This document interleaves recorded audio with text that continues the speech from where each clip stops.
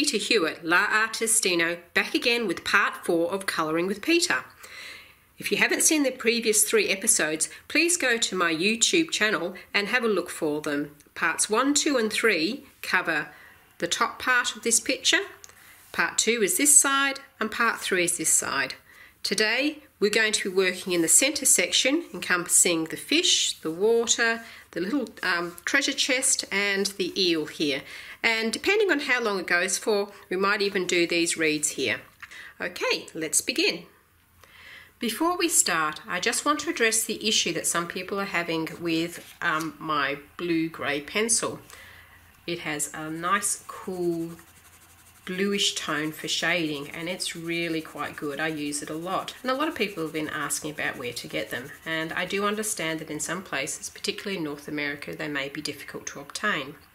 An alternative, if you can't get the blue-grey, is to use the Faber-Castell Polychromos Dark Indigo. Now if I put a little patch of that here next to where I've done my blue-grey, you can see it's a cooler type of blue. This one's slightly more cerulean cyanish type blue. This one's a, a cooler, uh, colder, more purplish type blue. But the difference is not very much at all and you can get away with using this one just as much as you could get away with using that one.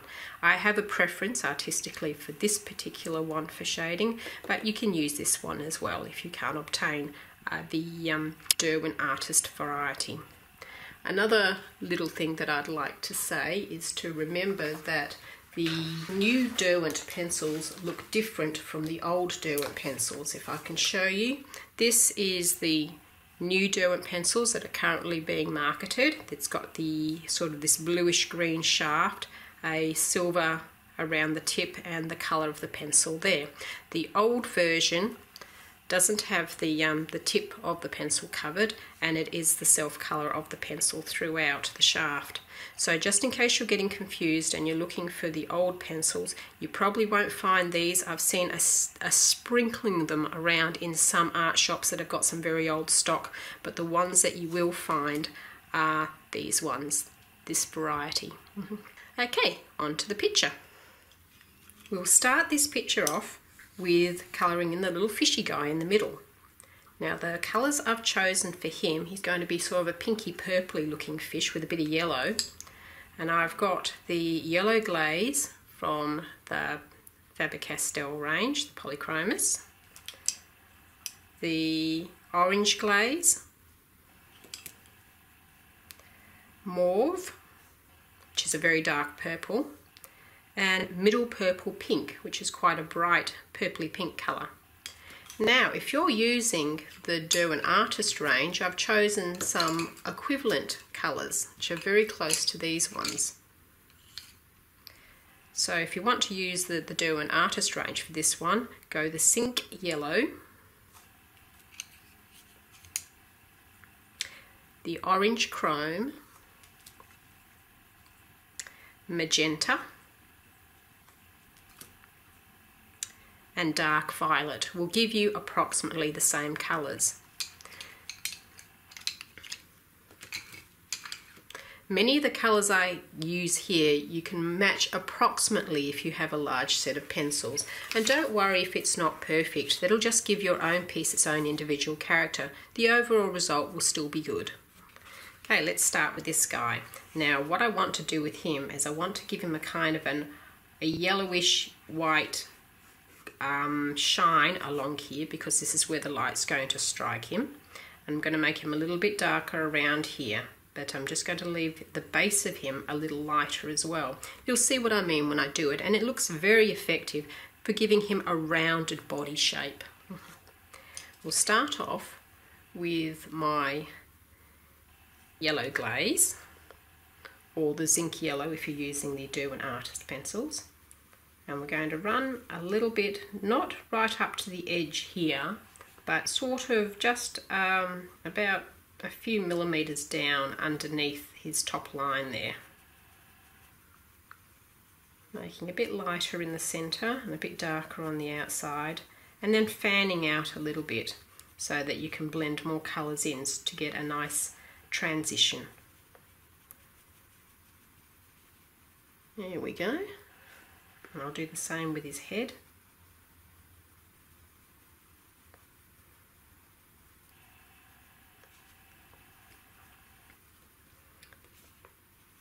Okay, that's all we need.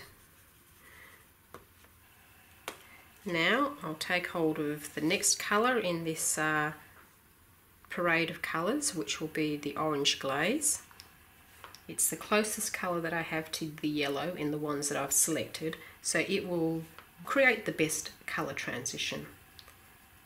Now once again, very gently going around the outside of where I've done the yellow. I'm just blending it in softly and then getting a little bit more intense as I go out.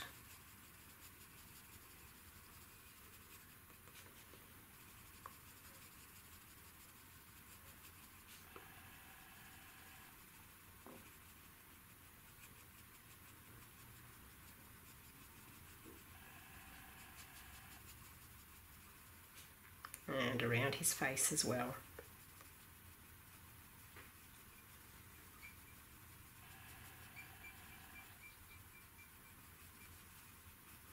don't know why he's a he. Isn't it funny how you sometimes assign genders? Well, I actually I always assign genders to whatever I'm colouring. No idea why I pick. I just have a strong feeling that something's either a boy or a girl. Just a little crazy thing I do. I'm also joining up this orange here to this orange here, right where he, the line of his gill is, just to give him a bit more of a border between the main part of his body and his head.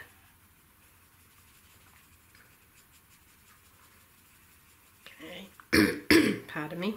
Still getting over a bit of a um, viral infection, so please excuse my voice at present.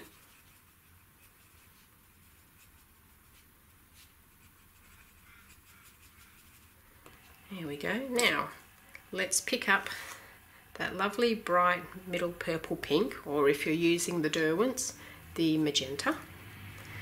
And we're going to make him pop a bit here by putting a, a nice transition of pink around the border of where that orange was. He's going to be a very bright coloured fish, this guy.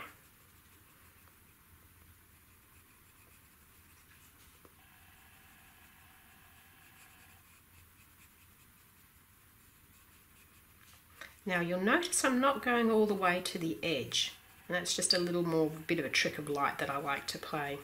I'm looking at the light going down past him and then bouncing off the bottom because it's only a shallow pond and striking him at the base there. So he's got a little bit of reflected light happening underneath.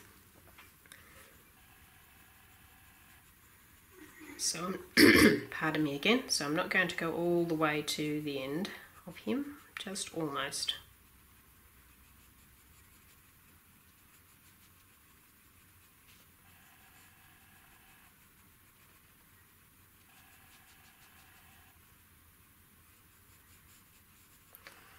And I think I'll take the yellow and I'll just put some more yellow down the bottom there.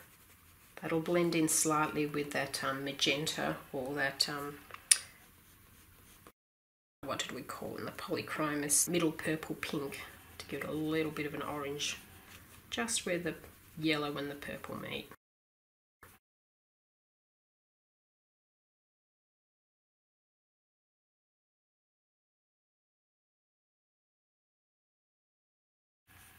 And as you can see, we're getting a nice sort of a rounded 3D effect with him, with the light striking here along top of his body and a little bit of reflected light here, but it goes darker before you get that shot of reflected light just here.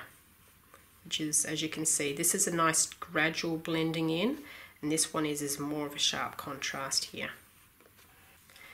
You can play around with how much how sharp you want that to be blended in or whether you want it you know nice and um, nice and sharp and defined or whether you want it to be slightly blended in it's just for your own um, when you're playing around with your colouring to see what pleases you best now to finish off the body I'm going to use a bit of the mauve and put just a tiny bit along the base as you can see it's really just a line and that will give him a, a lovely sense of density, a sense of roundness. Okay, I think I'm happy with his body. Might just pop a little bit more orange at the top here. There. Now we'll work on his fins. Now I think with the fins what I might do, I might actually make him more purplish at the base and then I'll gradiate out to a sort of a white yellow at the ends. It's a small area you're working with and you're working with several colours so you just have to go gently. Now remember it's easier to add more than to take it away so go gentle to start off with and if you feel that you need more then add more but don't go hard to start off with or else you'll be rubbing stuff out or erasing stuff out if you don't live in Australia. Mm -hmm. Actually, I'll correct that. I believe in the UK they call it rubbing as well, which is probably where we got it from. Uh, let's see, a little bit of pink. Again, just really, really soft and gentle. Just a blush of it, a little hint. It's amazing with these pencils how a little bit can go a long way.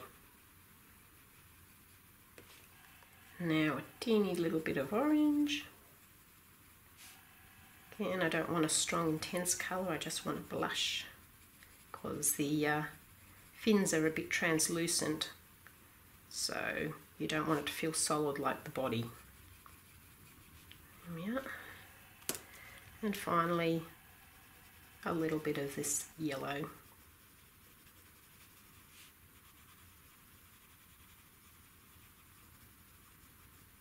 I might just put the yellow all the way to the base. It'll dull the purple slightly, but it'll also make it look a little bit shaded and more intense at the base. If you want to keep your purple bright, don't put the yellow over the top because the yellow and if you recall watching some of my earlier videos that the yellow sits on the opposite side of the colour wheel to the purple. And don't mind him he's my little dog. He's found the um, cat I think walking up the driveway again. There with the eye I'm just going to pop a little bit of yellow around the base I think and that's just a little bit of the yellow there. I'll leave the top white because I can think of the eye of the fish popping out slightly. See, it would also catch a little bit of the light that hits it from above. Make it a little bit darker below. There we are. And maybe just follow that up with a teeny weeny little bit of the pinky purple colour. Right, there's a rather nice looking fish. Now, if you like, you can finish it off by taking a white pencil, you don't have to do this, and just blending in a little bit more around here. This is optional. It'll just smooth the colours out a little bit, get rid of the graininess of the pencil. You can use a blender pencil for this as well. Now the difference between using a white pencil, and this is just the Faber-Castell white, and using a blender pencil is the white pencil will leave some white on there as well. So it'll make your, your colouring in slightly whiter, slightly less intense. Where if you use the blender pencil, because it's clear, it won't leave any other, anything behind, it'll just blend. So it'll be true colour that you leave. Just going to put a little bit in onto his fins. Blending also helps to mix the colours together as well.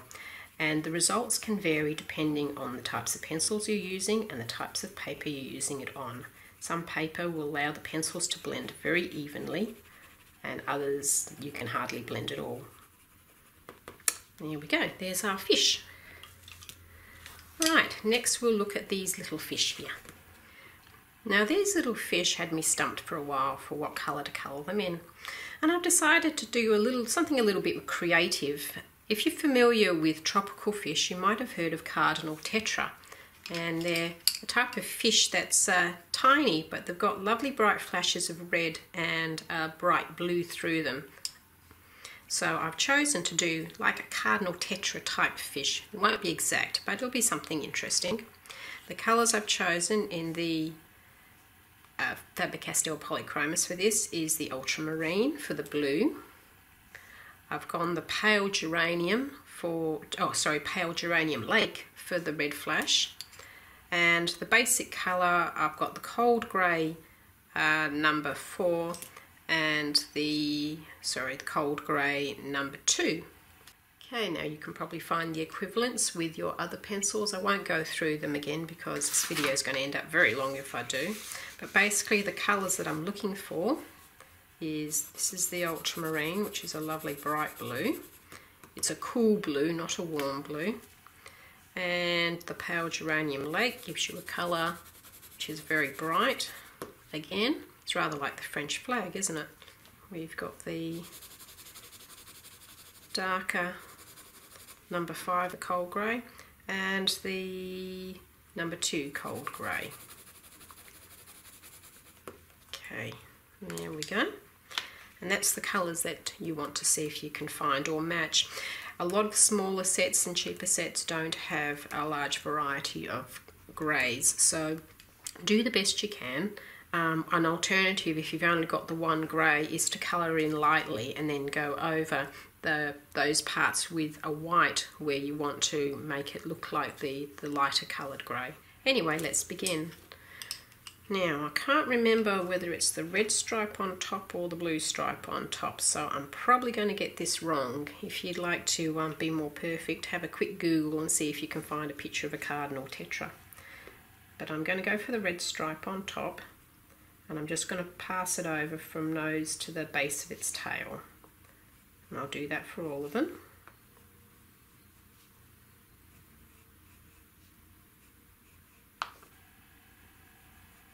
Now you don't have to make cardinal tetra if you like, you can just colour the fish all one colour but I like to be a little bit creative at times and see what I can do with the shape and all the different ways I could colour it in make it more interesting.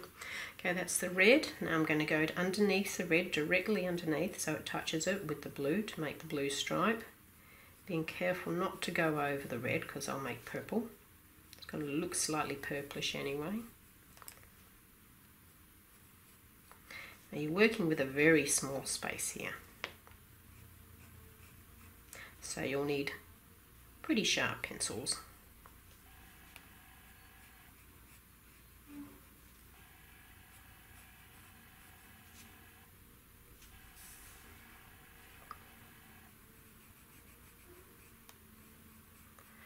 Okay, they've got their stripes now. Now with the lighter colour grey, I'm going to add to the top of the fish or to the points where the light would be most likely to strike the fish. So on this particular fish that's facing up would be around the nose. And on the fish that are sort of swimming, uh, what would you call it, straight horizontally, it will be along the backs.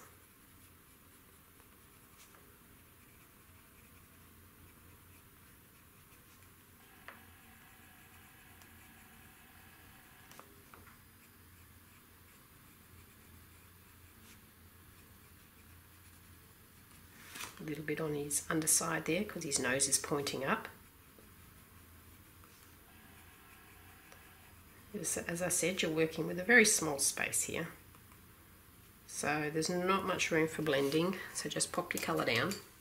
Now with the dark grey, you want to do the... Okay, sorry about that, my camera went flat. Just popped it onto the power and we can resume. Now, as you can see, I'm just adding the darker grey, that's the number four, to the undersides of the fish. I'm not going to worry too much about reflected light with these guys, simply because they're so tiny, it'd be rather fiddly to add.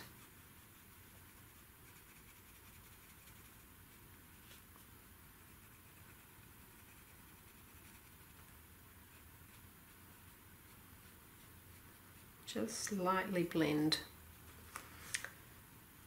a gradient in there with the where the dark meets the lighter grey.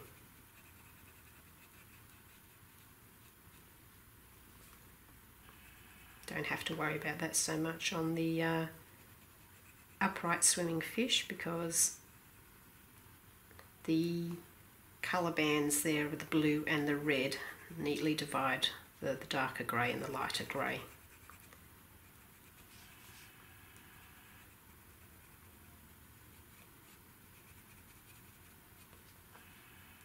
There you have my little school of mysteriously wild cardinal tetra.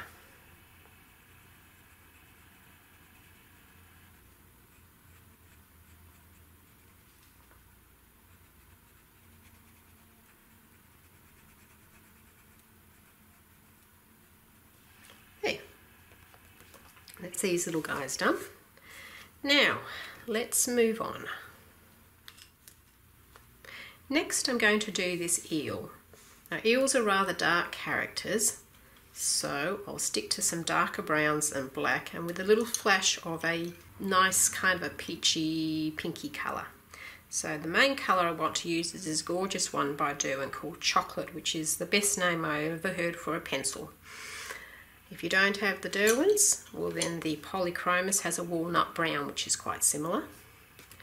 This is going to be one of the rare occasions where I actually do use black.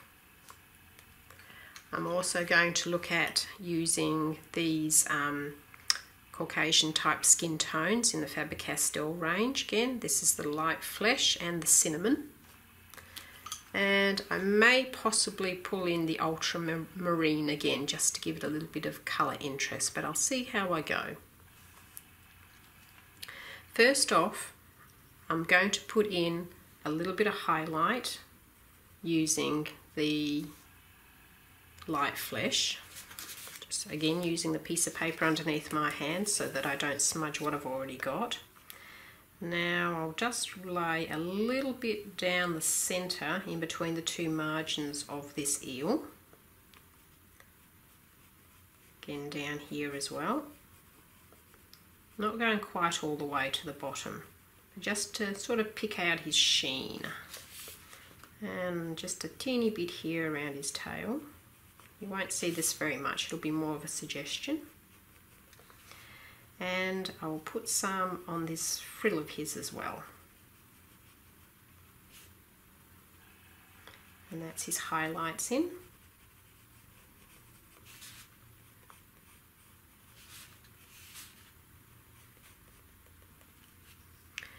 Right, now I'll take my chocolate colour and I'll start colouring in the main body of him. He's going to be quite a dark eel, he's going to be almost black, which is sort of the colour they are in the wild anyway.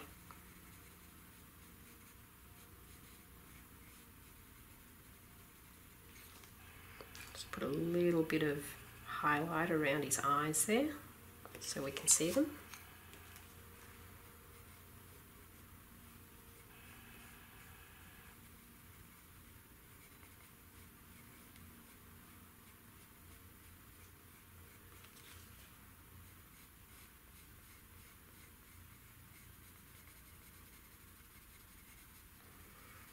This is rather like a like a dark chocolate.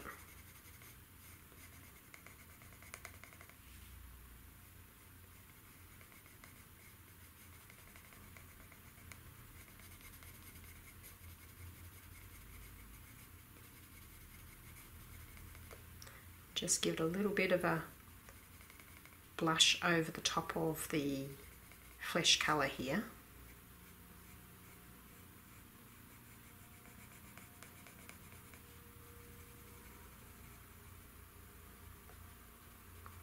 Once again, you'll see we're achieving a three-dimensional effect with him by making him look slightly rounded by giving him that flash of light down there. I've gone over that line a little bit, haven't I?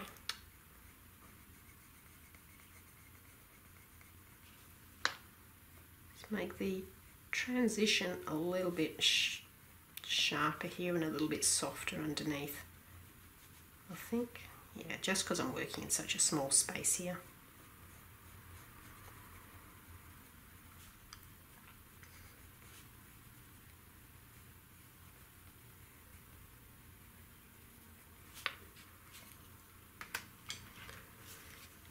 Bothers me. Looks like he's got a little bump there. So I'm just going to get rid of that.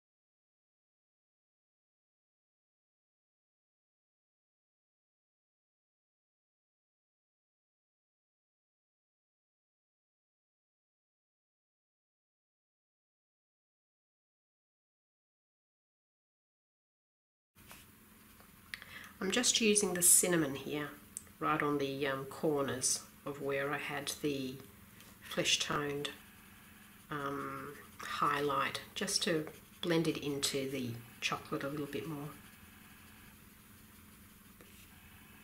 There we are. Now that fin, I think I might just start with a little bit of the, the black just to define that border between his body and where the fin starts.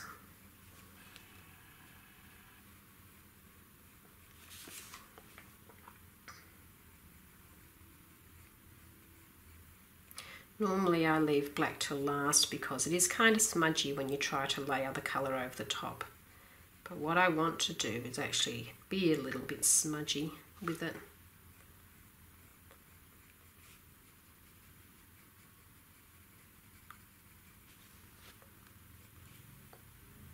Just put his eyes in a bit darker because his eyes have been covered up by the lighter flesh tone. There, it's brought him out. Going to put a little blush of black just to soften it as it goes up into the this large back uh, fin of his. Yeah. Fin? It's not really a fin, is it? I don't know the real name for it. Okay, now I think what I might do with that is take my ivory colour and use that to colour in the rest of the fin. So there, I'm kind of dragging the, the black about a little bit.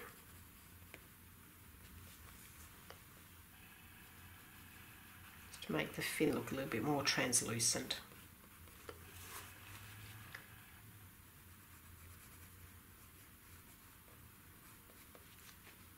Okay, now he's carrying this key here, so we'll make the key a I might, I might go for just the warm greys, I think. Right, here's the Faber-Castell uh, Warm Grey 2 and the Faber-Castell Warm Grey 5. I'll put the lighter one where the light would be striking the key and a little bit here at the base where you get the reflected light. Just realised I haven't coloured in the bottom part of his mouth, have I? Okay, well where's my chocolate? I'll just pop his, the rest of his mouth in there, his bottom jaw. Yeah, it's better. Okay, now the darker key.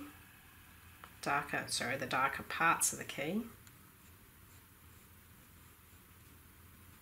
Again, we're working in a very, very small space here, so it's hard to get very fussy with this.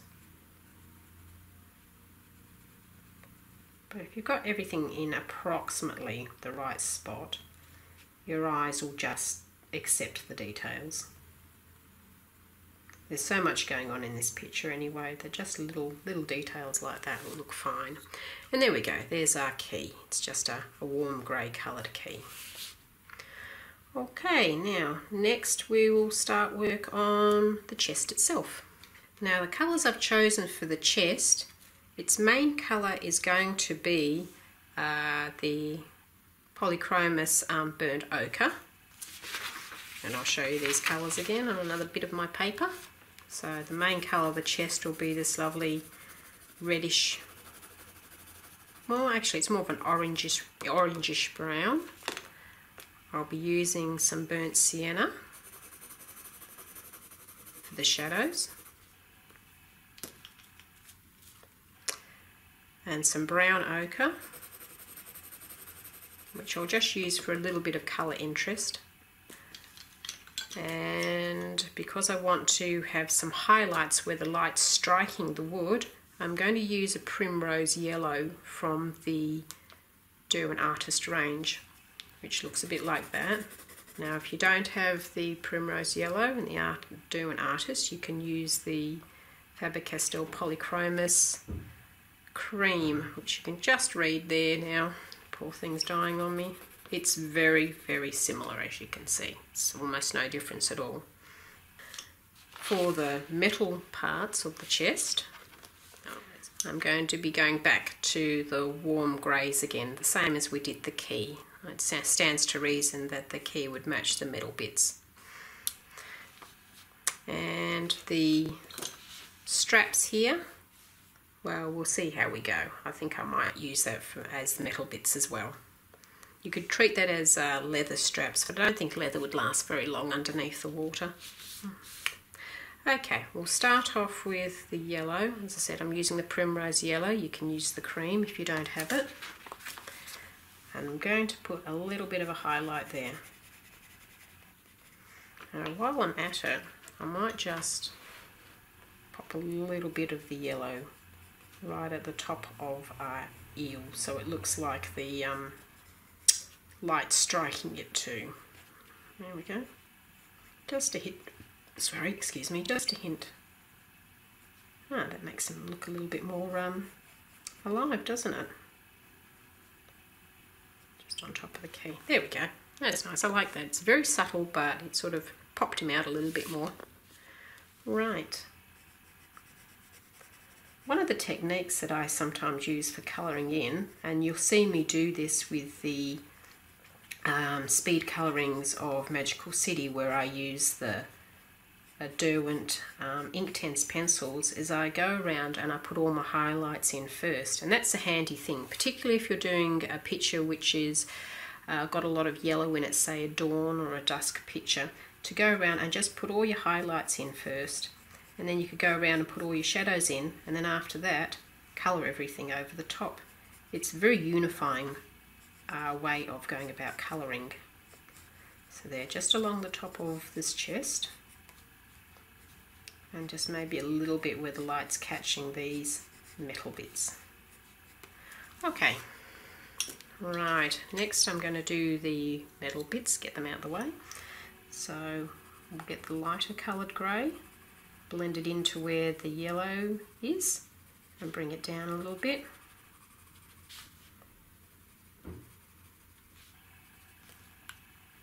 And the darker grey which will be furthest away from the light.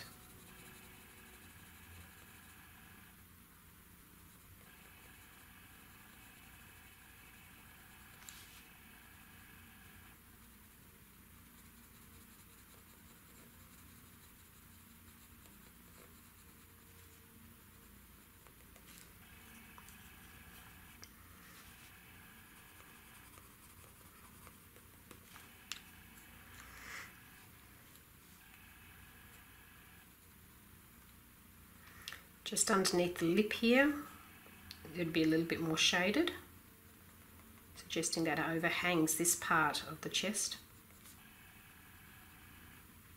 so I'll make that dark there, make it go to light and then blend down to dark again as you go down to the base of the chest.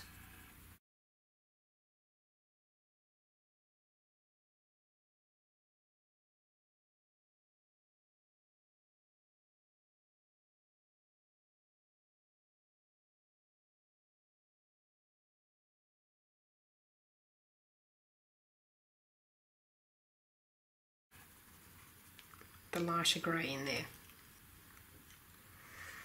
I'll do the same for these stripe bits around the chest. I'll treat them as if they're metallic as well.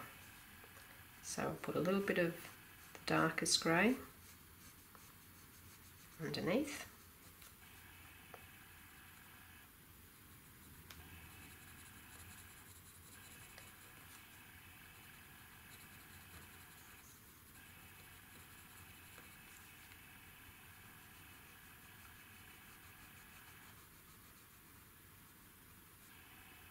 And just sort of some right in the corners here. Right on the ends. And then get my light grey and just sort of blend the dark into the yellow. Pardon me. Sorry I have to keep clearing my voice. A little bit gluggy this morning in the throat. Sorry it's a bit gross isn't it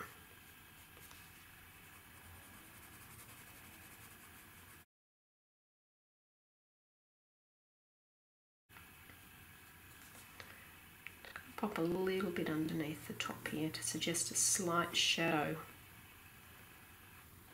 There.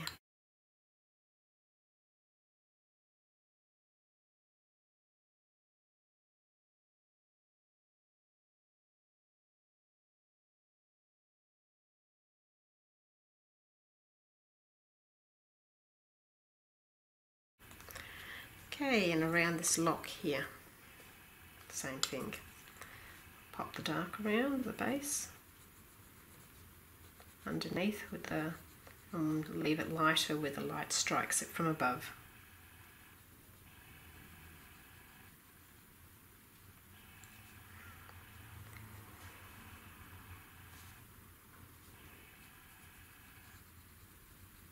Put a little bit of a shadow here gradiate it down a little bit, soften it down so it'll blend in with the lighter grey. Now,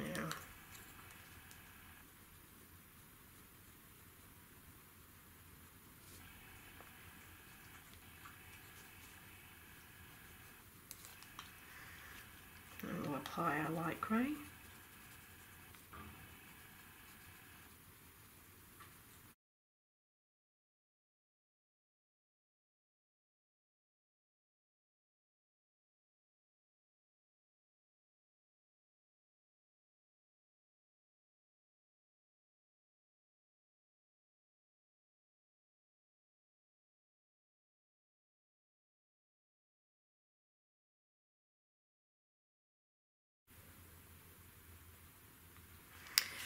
Okay. Now these little corner bits here, um, I think I'm going to go ahead and use a little bit of black on them. As you know, I don't use black very often. I reserve it, but I thought this would look best with black on it.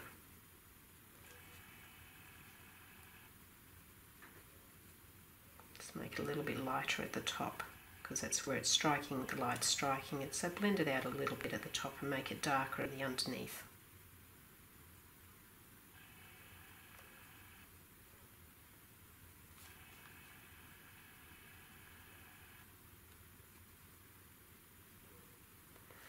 Okay, there's the middle bits done and we'll start with the actual body.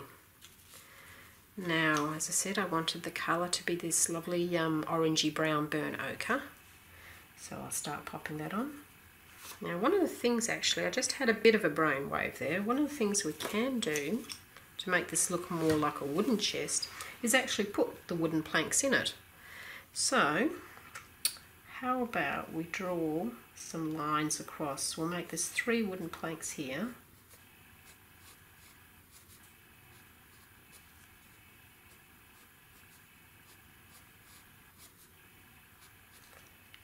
Looking even more chest-like, even just doing that. And the same sort of distance down here. I think we could fit one, two, three, perhaps four down the bottom there. Make them approximately the same distance apart.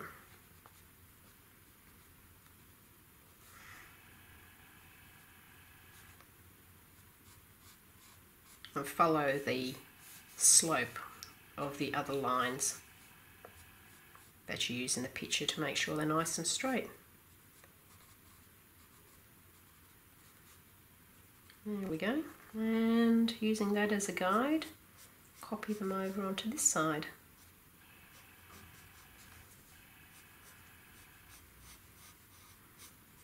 Yeah, I like that idea rather than just colouring it in as a straight flat colour.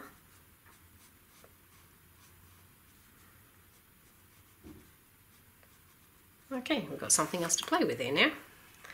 Right, well, where the ends of the planks meet, you'd make a bit darker and then gradiate up a little bit.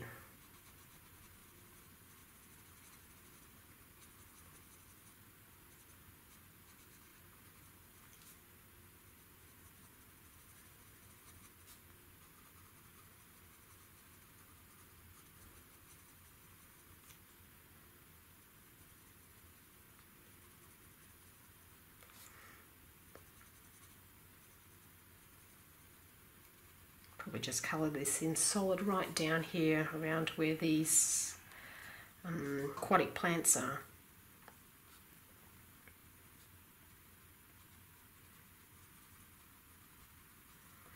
Hmm. These plants look very similar to um, what you see in Lost Ocean. I wonder if this is where she started practicing a few aquatic plants to use in Lost Ocean.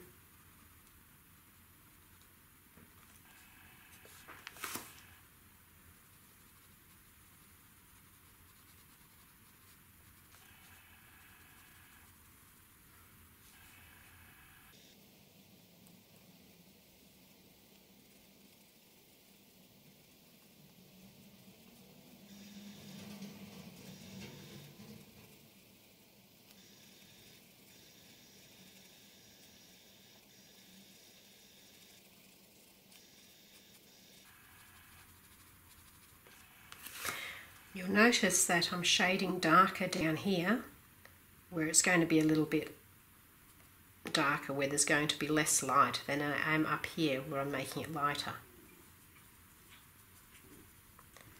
This is with the burnt sienna.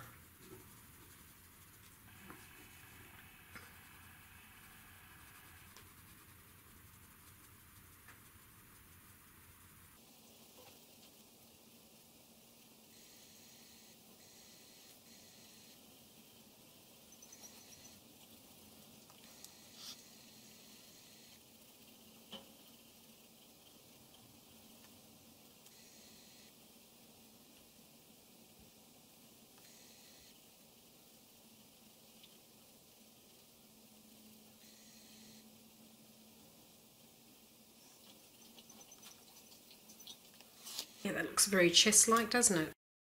Next, we'll take the burnt ochre. We'll just start applying that as well. Over the top and blend it in. That gives it a nice, warms up the colour of the chest and gives it a bit more dimension.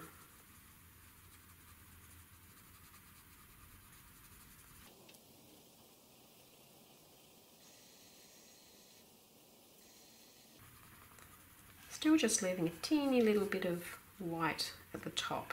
Just really, really lightly colour that in. Not, not quite all the way white, but just so that you can see. You can still see that there is that little lip there between the top of one plank and the bottom of the next.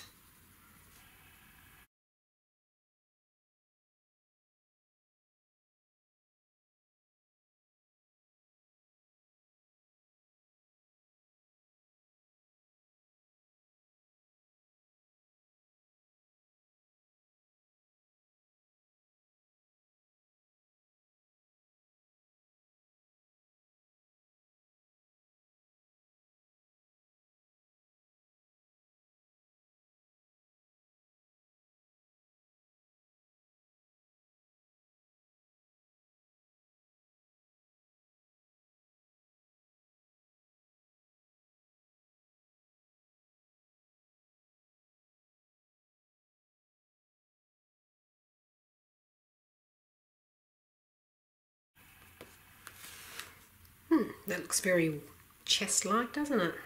Okay, now I might just take, I think I just need a little bit more shadow down here. So let's see if this works. I might take my blue-grey from the Derwent Artist range or you can use the dark indigo from the Faber-Castell range.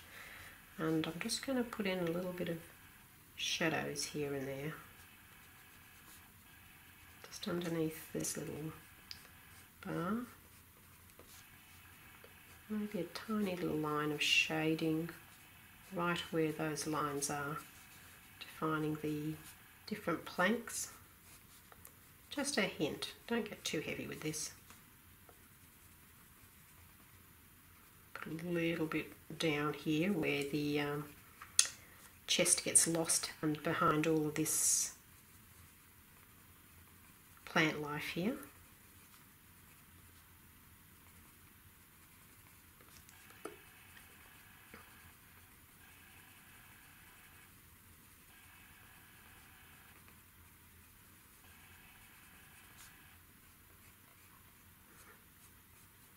Little shade underneath where the lock is.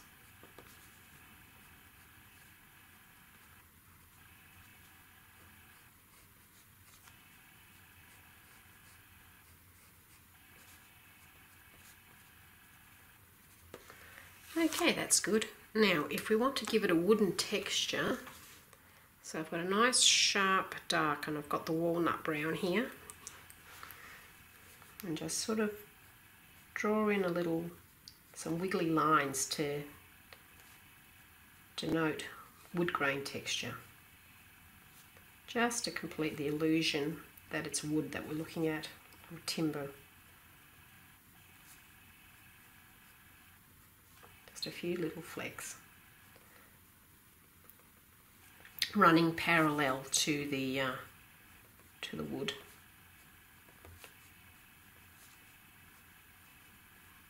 You need a nice sharp pencil and a nice dark brown for this effect.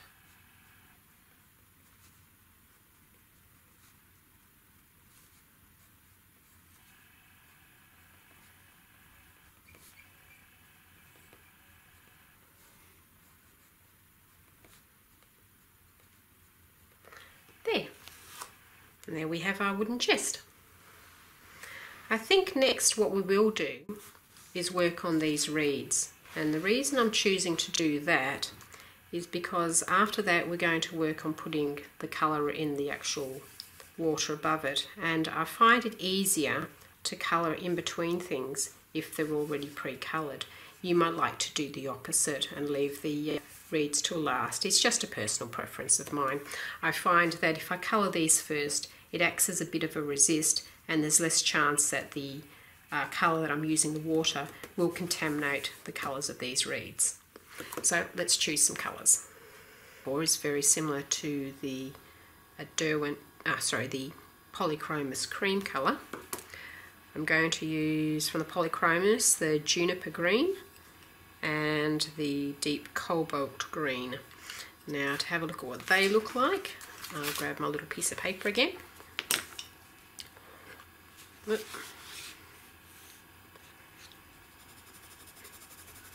There's the primrose. There's the juniper, which is sort of a, a greyish green, greyish bluish green. And the deep cobalt, which is a really tealy sort of bluey green. I've also got the Derwent Juniper, which I might use as well. It's very similar to the um, whoops. Oh, well, look at that. They're both called Jupiter, Juniper Green. That is a rare thing.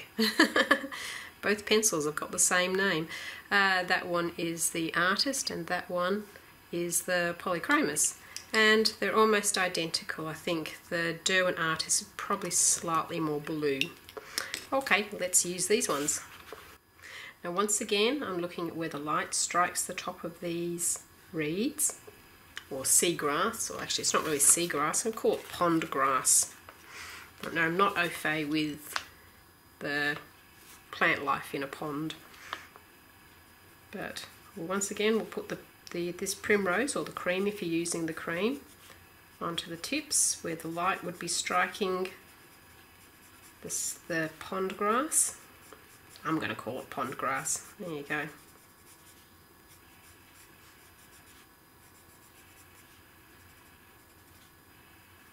Do all these little bits down here too.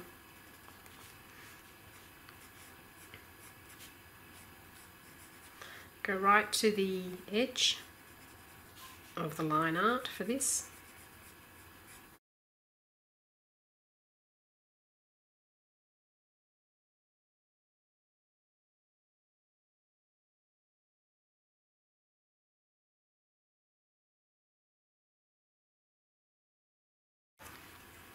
Now this time I'm going to pick up my deeper colour, the deep cobalt green, and the reason that I'm going to do this is the colour that you put underneath tints all the colours above it, sort of more towards um, a kind of a tint of it rather than putting it over the top. Uh, you can experiment with layering as to what colour you put down first gives you what effect. And I prefer for what I want with these I want it to have more of a bluey green colour than the um, grey green colour. So I'm going to use the, the cobalt green first. And um, lay that down around the base.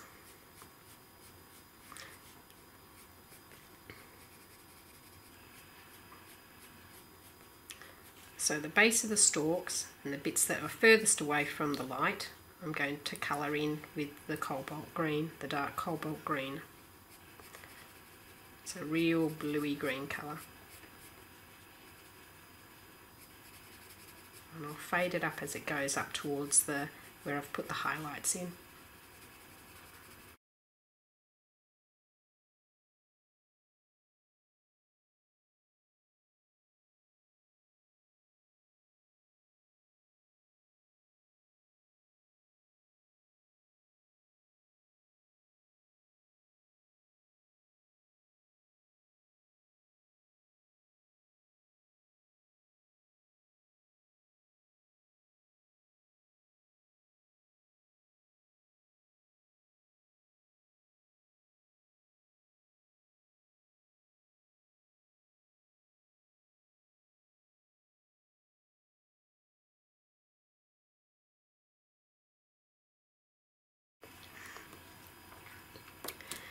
Okay, now I'm going to take the juniper green and I'll bind the two together.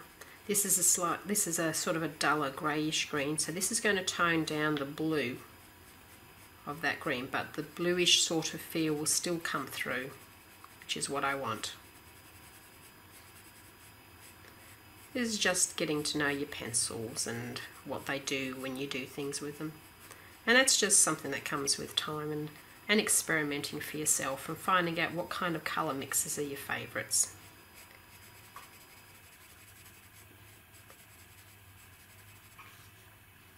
See, that's given us a nice rich colour there.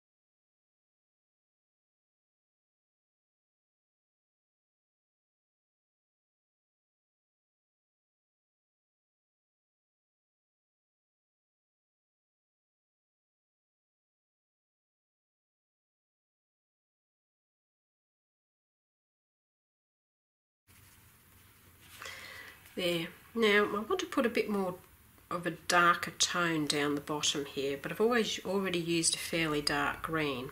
I don't want to go to black, so what I will do is I'll jump across to the other side of the colour wheel and um, use a red. Red is on the opposite side of a colour wheel from green, so I can use that to dull and darken the green. So I'll choose a nice neutral red. This is a Polychromos dark red and what I'm going to do with that is just add a little bit of it in the bottom. Makes it gives it a bit more of a color interest and also darkens the very base of these strands of pond grass. Just around where it's tucking in behind the card there. Maybe where it tucks in behind this reed here to make this one in front stand out. Just a teeny bit in there. And just a little bit around the bases of these.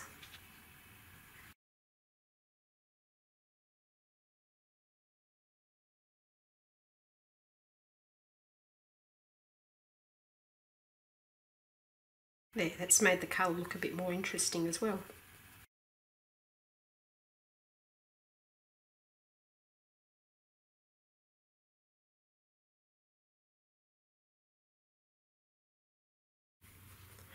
Right, now we're up to these little bits here. They're a different shape, so I'm going to give them a different set of colours.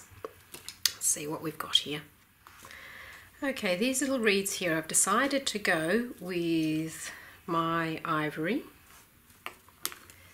the Faber-Castell Burnt Carmine, and the mauve colour again, the same as we used with the fish. And to show you what they look like, grab another little piece of paper. This one is my test sheet, so it gets quite cluttered after a while. sure everybody who colours has got a sheet like this. Yeah, here we go, this is it. Mm-hmm. Stuff everywhere. Look at that. What a mess. Okay, but it's better to make a mess on here than on your actual picture. Anyway, there's the mauve. There's the burnt carmine, which is a dull kind of sort of pinky burgundy red. Good old ivory, we know that one. And I'll just do some highlights once again with the primrose yellow. So, I'll just put, oops, where's my little protector sheet? Just put a teeny bit of the primrose on. You know what I'm doing this? I might just add a tiny bit to the top of my sword as well. There we go, it's hard to see. Just here, I've just added a teeny bit there. I rather like the idea of having a little bit of reflected yellow light at the top. Maybe a few little bits of it mixed in with the lightest of the grey. Only a tiny little bit, but it suddenly makes things pop a bit more. Okay, a little bit on the tips of these, the upper surface of these little frond leaf structures. I don't know, bumps, leaves.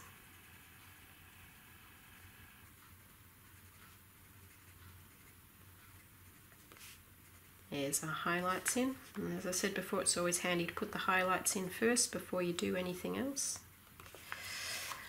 Okay, now I'll make the shaft of these the ivory colour.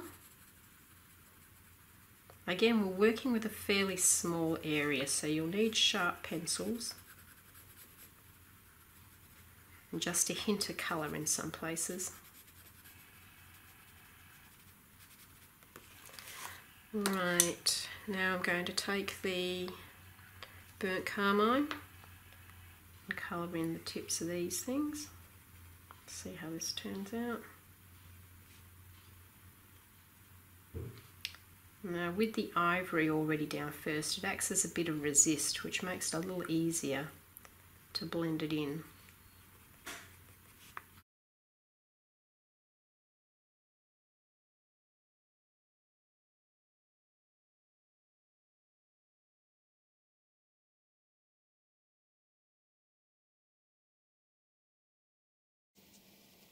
Put a little bit of it down the front, the shaft.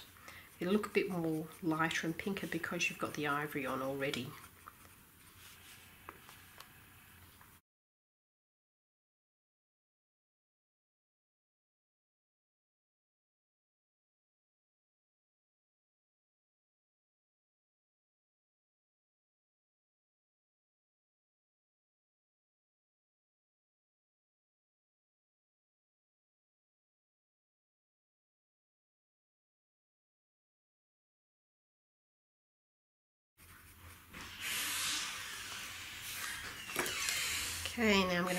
Purple and just tiny little bit of it right at the edge of the of the burgundy. A bit difficult to blend in because it's such a teeny little spot to colour.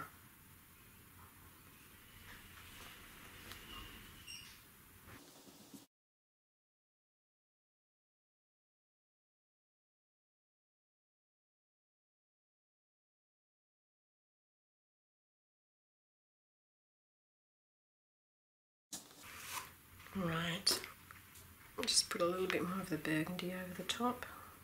It's a very fiddly little thing to colour.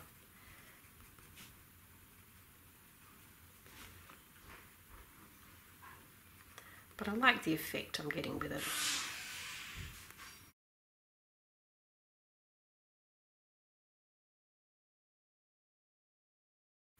Yeah, that'll do. Okay, now right down the base where these oops I've forgotten that little bit these uh, stalks disappear I want to darken them a little bit hmm I might actually use uh, let's try this for starters the earth green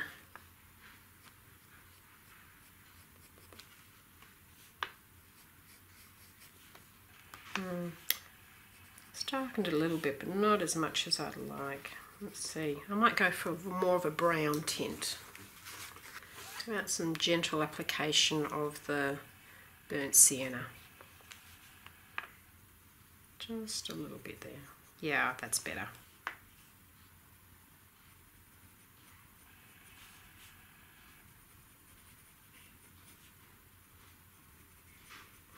Okay. Right, now we're going to start on colouring the water. Choosing the colours for the pond water is a little bit of a challenge. When you think of water, a lot of people tend to think of blue, but if you look at pond water, it's actually more greenish brown colour. So I've looked at having something a little bit more natural. So what I've decided on, and I'll show you how it looks is I'll start off the lightest parts of the water I'm going to use the ivory my polychromos range next I'll use either the yellow glaze the light yellow glaze out of the polychromos or the primrose out of the Derwent artist and I'll pop a gradiated layer of that down.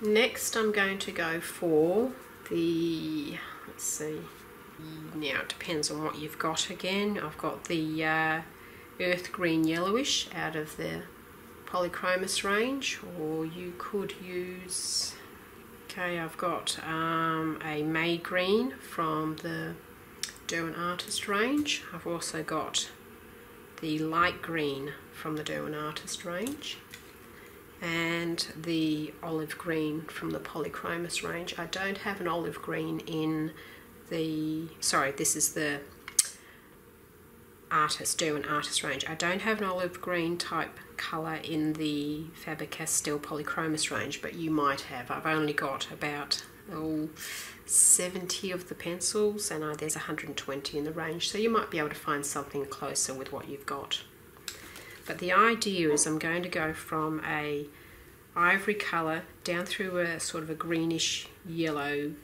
sort of fluorescent green yellow down through a, a green colour. And using the brighter green in this case the Faber-Castell light green in between there.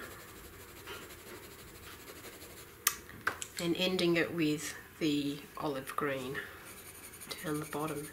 And as you can see I think that's a fairly good colour gradient for a pond. A little bit murky looking with the nice bright yellows with the sun striking it and going gradually down to a darker colour. And I'll probably end it with a much darker colour at the end just right at the bottom of the pond. But we'll see how we go. I want to have a shaft of light coming down because I've seen that effect used a number of times and it is a lovely effect to have light shafts of light coming through the water. So I'll use the ivory for that. So the ivory will go along the top of the water where the mother duck and her little ducks are sitting.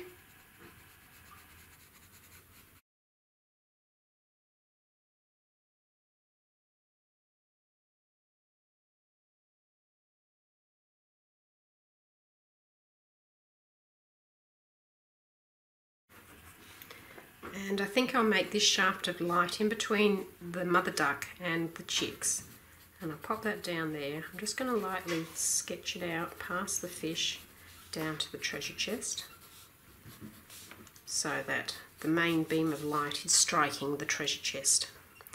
Sort of directs the, the eye of the person who's looking at the picture down towards the treasure chest as a, one of the main features of the picture.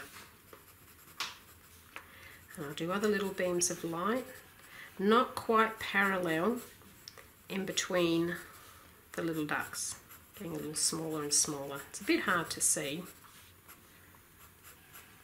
Yeah. And these beams of light will be coloured in in the ivory colour.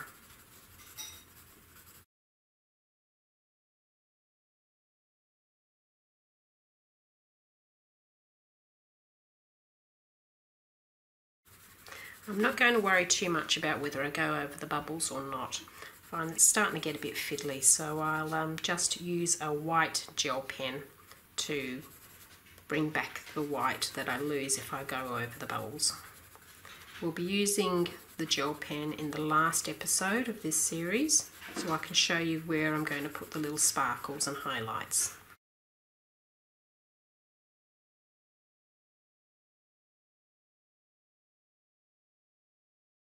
Right, that's the first beam more or less done. It's a bit hard to see it right now, so it won't be perfect. Oops, it's not finished yet, is it? I've got all this bit to go. There will be some blending of the sides of this beam, so you'll see there's a little bit of, um, of a gradient, colour gradient going in.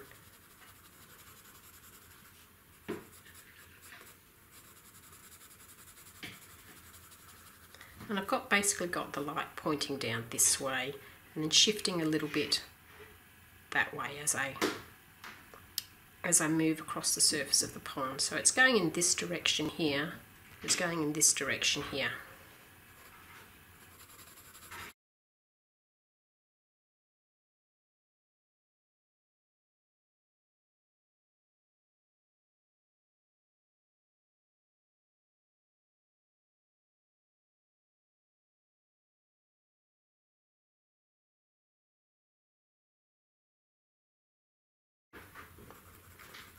Sorry, there isn't very much to see here, mainly because the ivory yellow is very, very similar to the colour of the paper in this book. So I can see it a bit better than you can. So, yeah. This section will take a little bit of fiddling, colouring and playing around to get it to look right. Just use your artistic um, eye to sort of judge what looks right and what doesn't. There, those those shafts in. Now I'm going to switch to the primrose.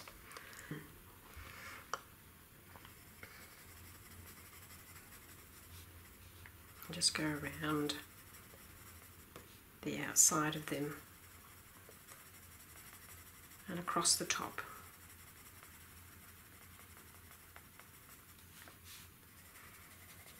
Except for underneath the duck because that's where there's going to be a bit of shade.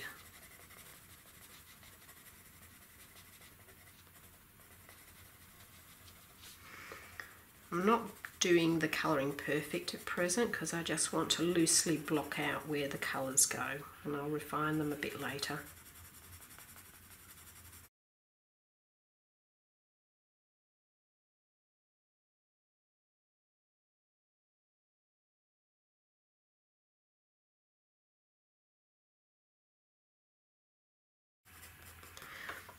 Think where I've got the ducks I want to put in the shadows a bit so I can get a better idea of how I'm going to distribute all the colours. So I'll take my, um, my dark olive green and I'll start laying a bit of that directly underneath where the ducks are sitting. This is what the things that are going to be casting the shadows in this picture.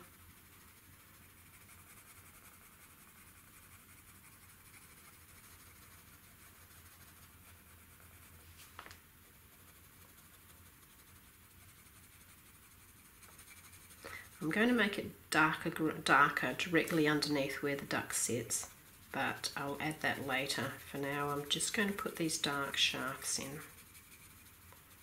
I'll fade it out a little bit. As I said, I'm just getting an idea of where I want all the colours to be, which is why I'm loosely blocking them in.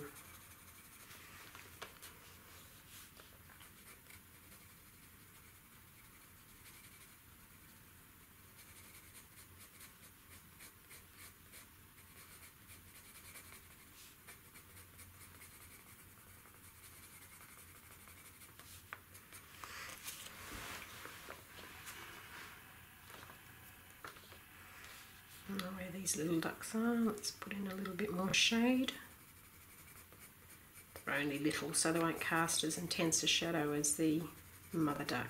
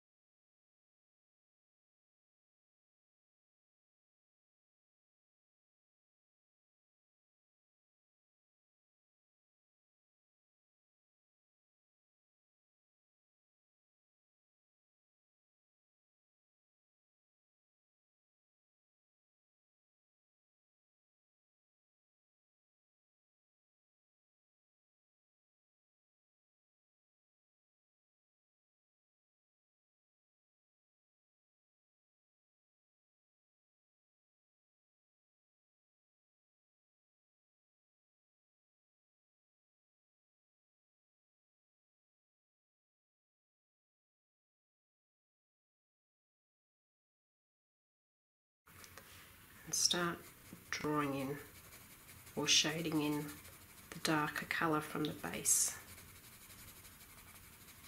where the shadow of the mother duck is.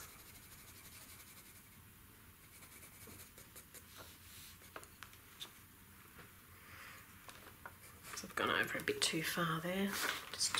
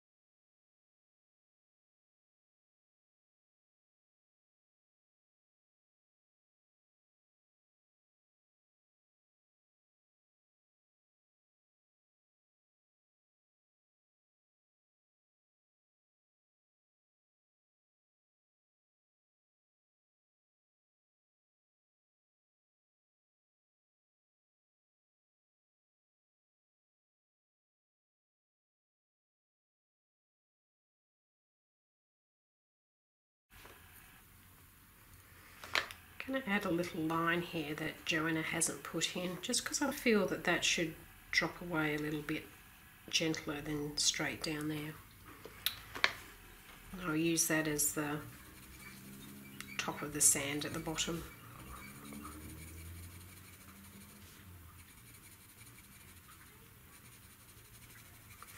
I'm adding all this darker olive green around the base here. It's a really nice murky pond colour this. It's got a hint of green and a slightly brownish. And it's a warmish colour too, which I like.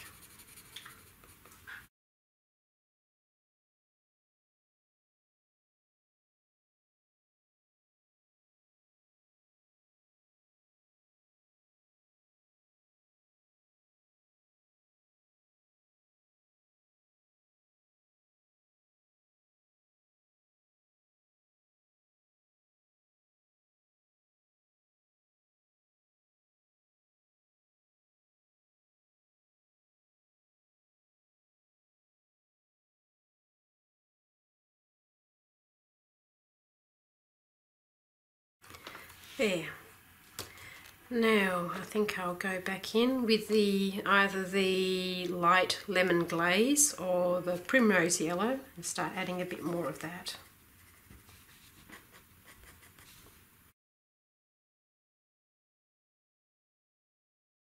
Away a little bit from this shaft up the top here. I've gone a little bit too heavy there.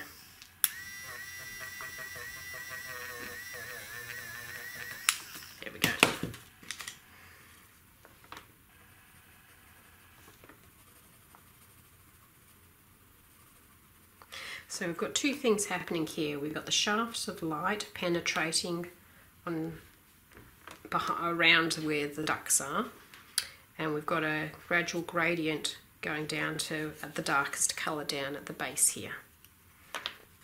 Now we've got to marry the two so I'm going to gradiate this colour up using the lemon glaze or the primrose yellow whichever one you've got or a similar one from the set that you're using.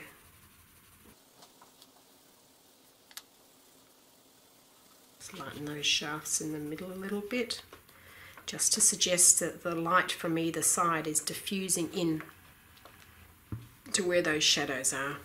So the shadows will be darkest directly underneath what's causing the shadow and then as more light diffuses into the water underneath it'll lighten it out.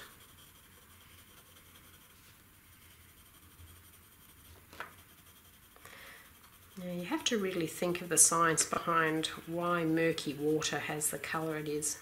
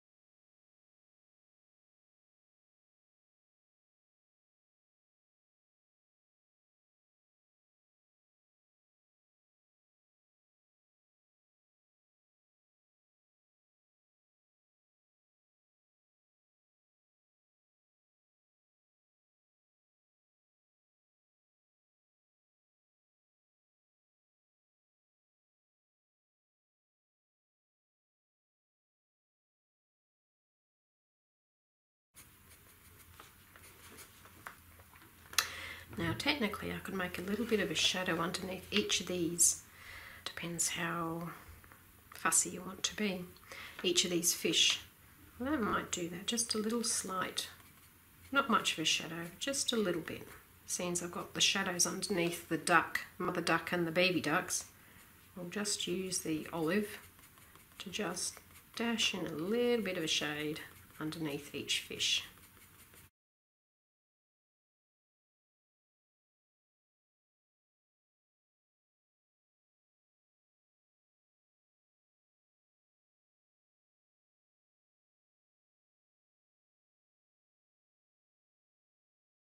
Now we'll take our yellow, light yellow glaze and just probably yellow in there too.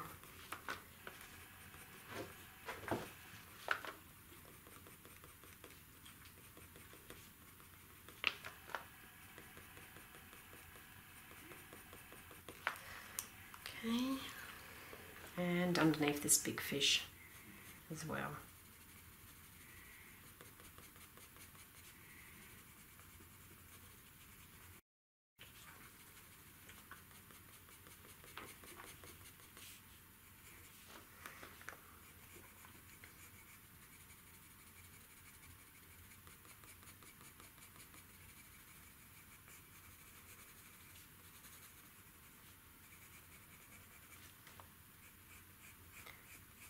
Sure it's darkest right up next to the fish and then lighten it out as you move away from the fish.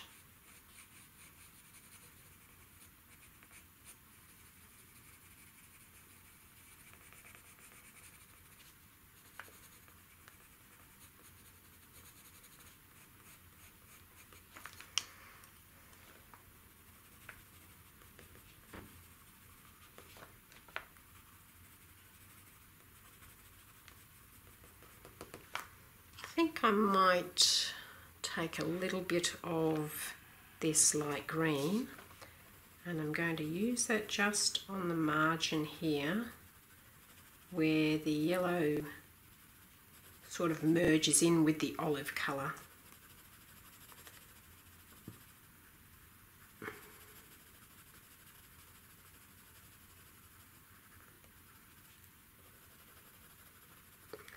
So I'm just putting it on fairly lightly, not pressing at all.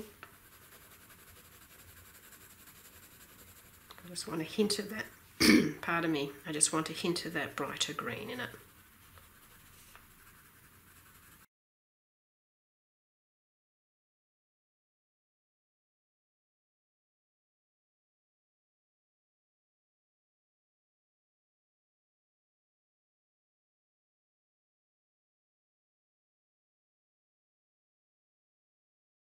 Afraid this section is more about just tweaking and smoothing and judging with your own eyes how you feel that it looks and where you think to add a little bit more colour or a little bit less.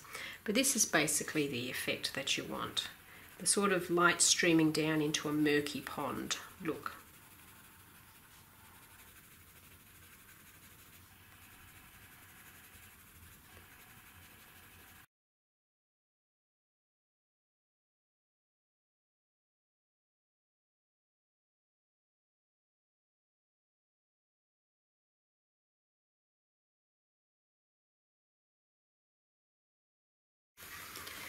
Right, that's looking somewhat the way I want it. Just a matter of continuing to tweak a little bit and play with it until you've got a nice, until you're satisfied with it. Being careful to preserve all the light areas that you don't start going over your light areas and making it all too dark. Now the final thing that I'm going to do is, this isn't quite dark enough for me down the bottom, so I'm going to choose a darker dull green, and for that I'll use the Chrome Green Opaque out of the Polychromos range.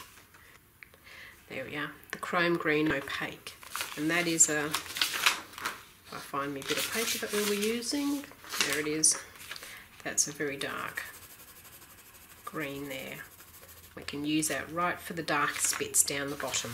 So I'll use that just underneath the duck, just a hint of it, just to make it the darkest directly underneath where the shadow starts. Same with the little ducks. Shadows are darkest at their point of origin and then they go light as you spread out. Hmm, it's true. Just pop a cup on your table in front of you and have a look about the shadow, how it's very dark right underneath the base of the cup and then it gets lighter as it travels out. There we go.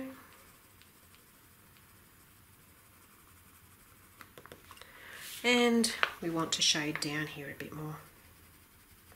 So I'm going to go over here where I've put all of this olive green and just gradiate it up a little bit, getting softer as I go up, just so it's the most intense right down here at the bottom of the pond.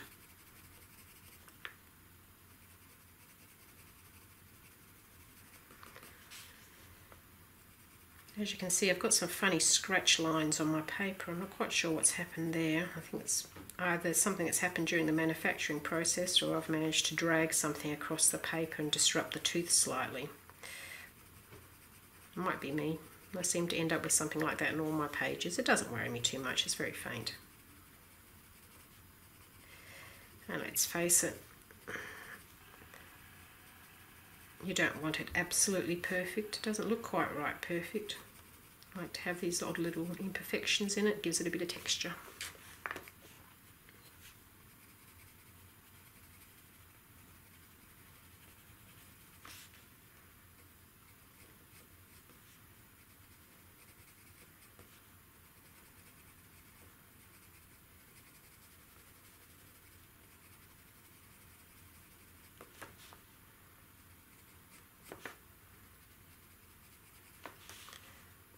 Just a little bit in the corner here.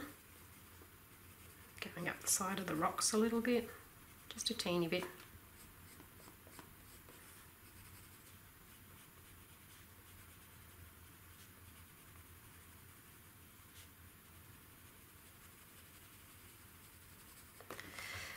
Okay, I think that might do for our pond water. Actually, one final thing is I might just go over some of the bits again with the ivory just to blend it in a little bit around here. Just where we've put the shading in. Blur all those little pencil lines a bit. Make sure it all sort of blends in with the surrounds.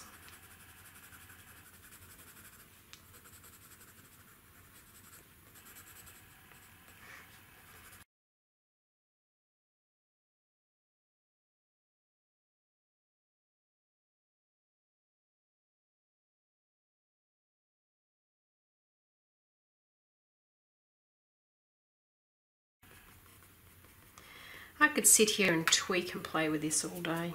Hmm. But there's a time when you've got to say, okay, that's good enough, and stop. And I think we've just about reached it now. Oops, I've forgotten this little bit here.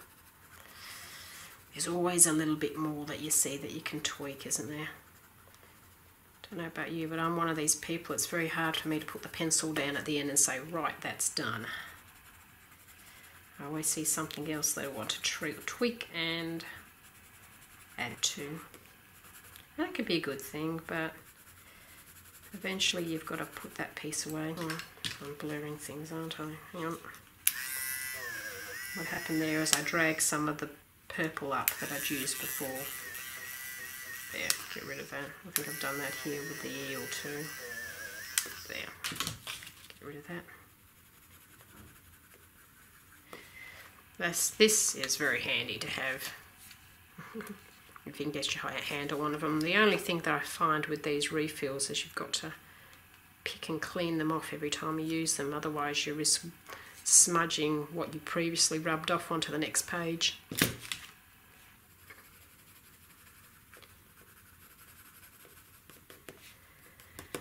Okay, that'll do, that'll do, I've got to leave this alone. There's our nice murky pond water and all of our fish swimming around in it. I hope you've enjoyed this instalment of Colour with Peta. And we're now on to our fifth section down the bottom, which we will start next week and hopefully complete this picture and I'll show you all the little special effects that you can use your um, white gel pen for. And perhaps we'll do a little bit of um, blending with a blending pencil to smooth things out. In the meantime, whatever colouring adventures you're on, enjoy yourself, have fun, experiment with your colours, find out new combinations that you enjoy, and until I see you next time, happy colouring!